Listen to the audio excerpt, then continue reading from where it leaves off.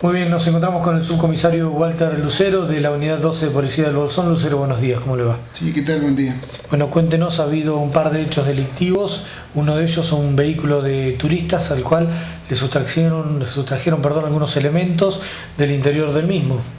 Sí, es así. En, ayer aproximadamente 17 horas este, tomó conocimiento por turistas, ¿no es cierto?, que estaban visitando eh, la cascada escondida, ¿no es cierto?, este, bueno, ellos al regresar, luego de recorrer el lugar, ¿no es cierto?, regresan, bueno, contatan que, que el baúl, ¿no cierto?, de su vehículo había sido forzado y bueno, desde su interior eh, los malvivientes procedieron a sustraerle este, dos carteras en que contenía documentaciones personales este, y dinero en efectivo.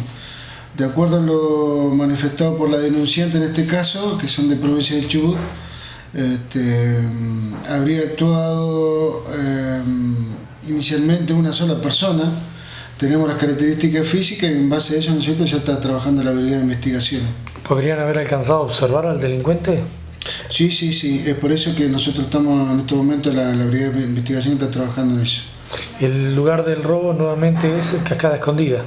Sí, Cascada Escondida, este, mm, donde nosotros obviamente que a futuro, no muy, no muy lejano, ¿cierto? ahora con el, inicio de la temporada estival, este, bueno, nosotros dentro de lo que es este, tarea preventiva es uno de los lugares nosotros a tener en cuenta y donde precisamente nosotros este, ponemos este, empleados policiales para, bueno, para tratar de prevenir cualquier ilícito.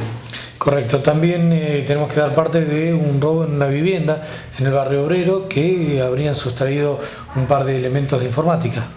Sí, este, eso fue alrededor de las 18.30, ¿no es cierto? Un vecino que al regresar a su domicilio, ¿no es cierto?, constata que, bueno, que una de las ventanas de la habitación había sido forzada y, bueno, en este caso los malvivientes este, sustraen dos equipos de informática, este, una netbook y una notebook, y, este, bueno, en este, en este caso también este, está trabajando la brigada de investigación.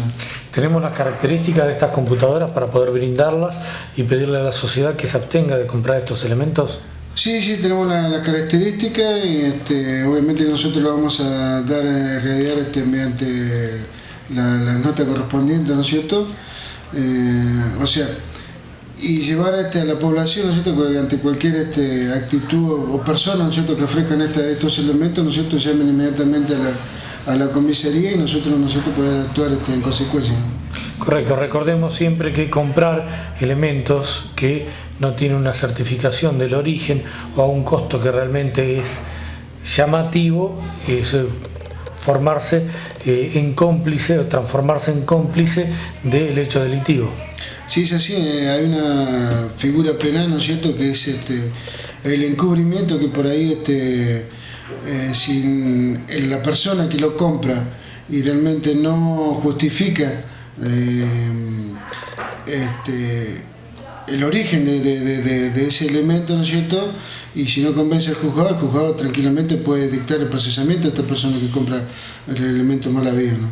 Muy bien, comisario, muy completo como siempre, muchas gracias.